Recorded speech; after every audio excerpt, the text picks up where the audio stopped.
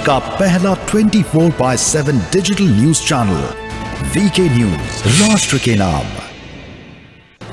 देश का- आप सभी का वीके न्यूज़ में और मैं हूँ आपके साथ दीपिका पांडे। बुलेटिन की शुरुआत करते हैं कुछ खास और बड़ी खबरों के साथ। एमपी के आगर में कृषि उपज मंडी व्यापारियों की तरफ़ से मनमर्जी करते हुए किसानों की सोयाबीन की बोली कम मूल्यों पर लगाई जा रही थी। जब सोयाबीन की फ़सल का उचित दाम नहीं मिला तो किसानों ने मंडी का गेट बंद कर दिया और मंडी प्रशासन के खिलाफ जमकर नारेबाजी की। पूरे मामले पर किसानों का कहना है कि दो दिन पहले मंडी में सोयाबीन की फ़सल का भाव पाँच हज़ार पाँच सौ रुपए प्रति क्विंटल मिल रहा था, लेकिन अब व्यापारियों की तरफ़ से मनमानी करते हुए भाव कम कर दिया गया, जिसके बाद नाराज़ किसान अपनी फ़सल लेकर वापस लौट गए। मध्य प्रदेश में हर किसी पर चुनावी बुखार चढ़ा हुआ है। विधानसभा चुनाव को लेकर भाजपा, कांग्रेस सहित अन्य दलों की तरफ़ से अपने अपने प्रत्याशी मैदान में उतार दिए गए हैं। जिसके बाद अब प्रत्याशियों की तरफ़ से मतदाताओं को लुभाने के लिए नए नए जतन किए जा रहे हैं। मध्य प्रदेश की राजगढ़ ज़िले की सारंगपुर विधानसभा से कांग्रेस प्रत्याशी कला मालवी जनसंपर्क के दौरान सारंगपुर विधानसभा के नैनवाड़ा गाँव पहुँची, जहाँ दीपावली के त्योहार को लेकर घर की रंगाई पुताई की। इसके साथ ही एक महिला को देख कांग्रेस उम्मीदवार कला मालवी खुद महिलाओं के साथ गोबर से पुताई करने में जुट गई। वहीं दूसरी तरफ़, भारतीय जनता पार्टी के उम्मीदवार गौतम टेटवाल चाय के होटल पर पहुंचकर अपने हाथों से कार्यकर्ताओं और अन्य लोगों को चाय बनाकर पिलाया।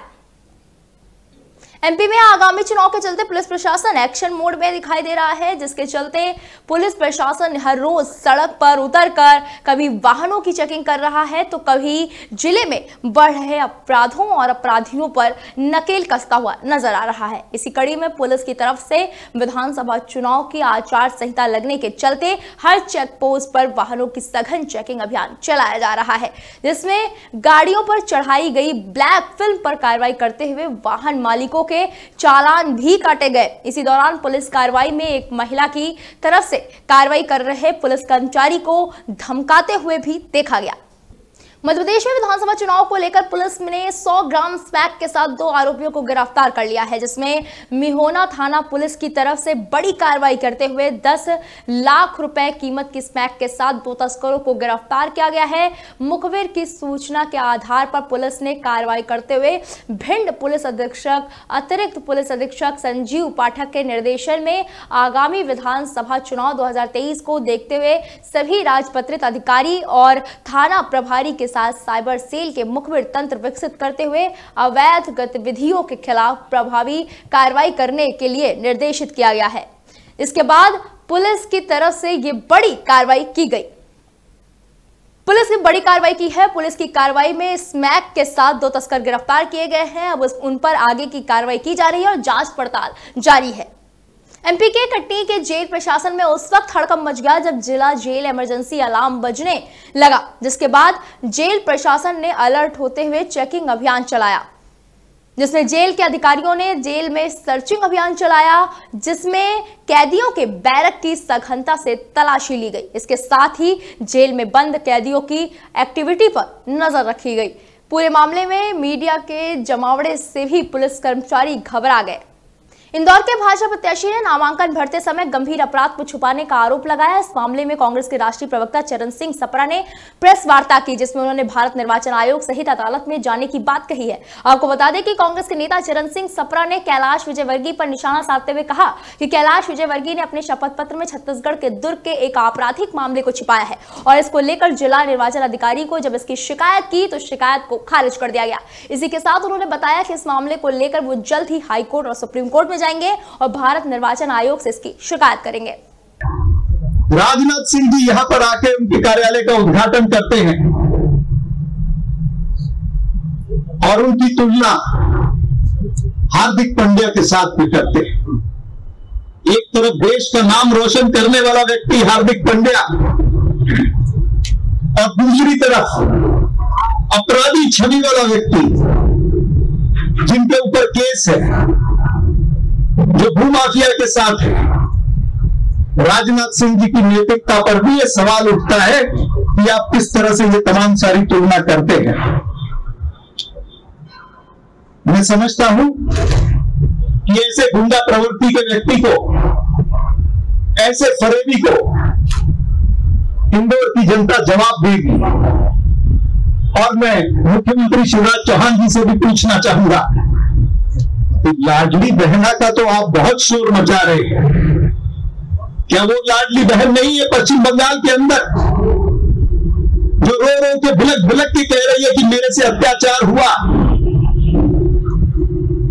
जो इंसाफ की गुहार लगा रही है कि मुझे इंसाफ दिया जाए। धार ज़िले के कुक्षी तहसील थाना में पुलिस अधीक्षक मनोज कुमार सिंह के मार्गदर्शन में कुक्षी सहित बाग टांडा डही के सभी थाना प्रभारियों, स्टाफ को बलवा ड्रिल दगाइयों से निपटने के लिए ट्रेनिंग दी गई। आपको बता दें कि आगामी विधानसभा चुनाव को देखते हुए ट्रेनिंग दी गई है, जिससे आगामी विधानसभा चुनाव के चलते कुक्षी सहित आसपास के पुलिस बल किसी भी स्थिति में निपटने के लिए तैयार है। और इसी के साथ आशु गैस टीयर लॉन्चर और फायर करते हुए दंगाइयों से को कैसे खदेड़ना है, इसकी जानकारी थाना प्रभारी और स्टाफ को पहले से पता रहे। इसके ही साथ सूबेदार नितेश राठौर ने ट्रेनिंग के दौरान बताया कि ट्रेनिंग कुक्षी के डीपीएस स्कूल के पास बने मैदान में दी गई। आगामी विधानसभा चुनाव को संपन्न करवाने की तैयारियाँ पूरी हो गई है।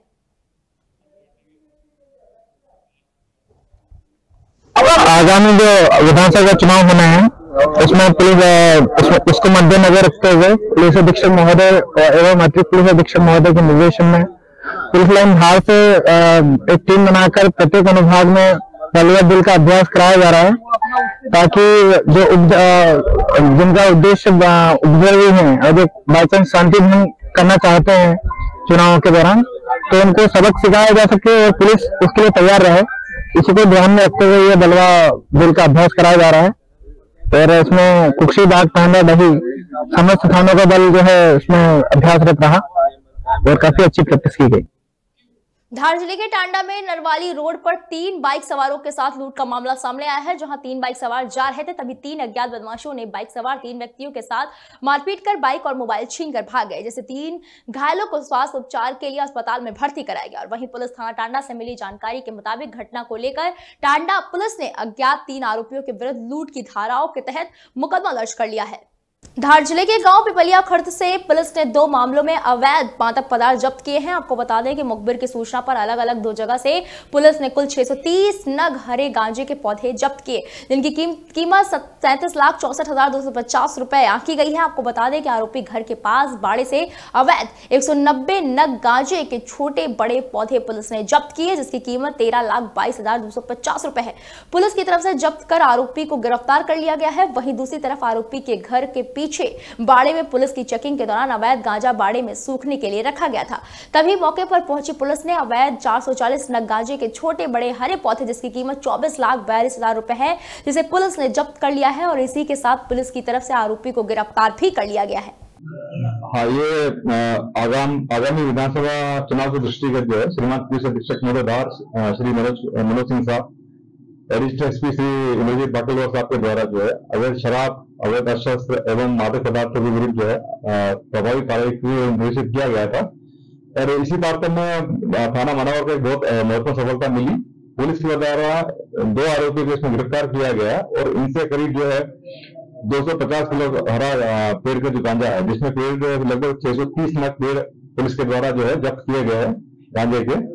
और इसकी जो पूरी मात्रा है वो करीब कीमत जो है वो सैतालीस लाख चौसठ हज़ार के मूल्य की जो है गांजा पुलिस के द्वारा जब्त किया गया है। रुकते छोटे से ब्रेक के लिए। ब्रेक के बाद फिर मिलेंगे। खबरों का सिलसिला जारी रहेगा। देश का पहला 24 by 7 digital news channel VK news राष्ट्र के नाम।